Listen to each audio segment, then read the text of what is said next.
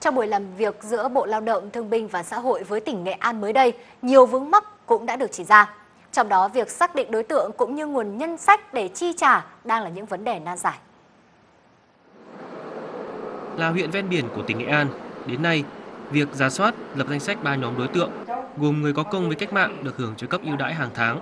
bảo trợ xã hội đang được hưởng trợ cấp hàng tháng, hộ nghèo và hộ cận nghèo đã cơ bản hoàn thành. Tuy nhiên, có một số nội dung chưa rõ, dễ gây hiểu lầm nên quá trình triển khai tại các xã rất lúng túng.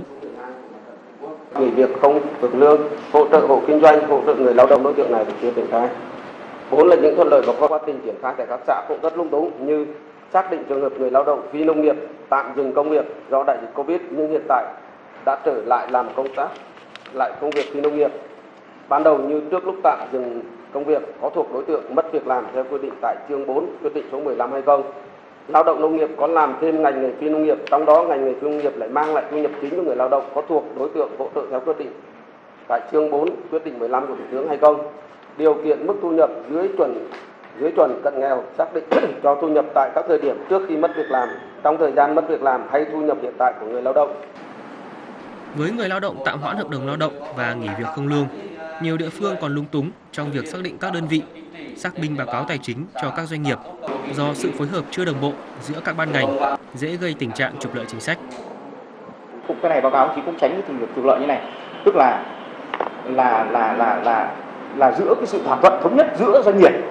với lại người lao động. Đấy, cái này báo cáo ông chí là cũng cũng, cũng cũng cần phải có một cái cái hết sức là minh bạch, phải không ạ? Để tránh cái tình trạng là có thể doanh nghiệp uh, cái khả năng tài chính rất dồi dào nhưng mà có thể là người ta vẫn cứ thống nhất với nhau để người ta đề xuất để để để để để cho cho cho người lao động nghỉ không lương hoặc là tạm hoãn hợp đồng đấy mà cái chuyện nghỉ không lương hay tạm hoãn hợp đồng nó còn liên quan đến rất nhiều vấn đề kể cả cái việc mà tạm dừng đóng cái bảo hiểm xã hội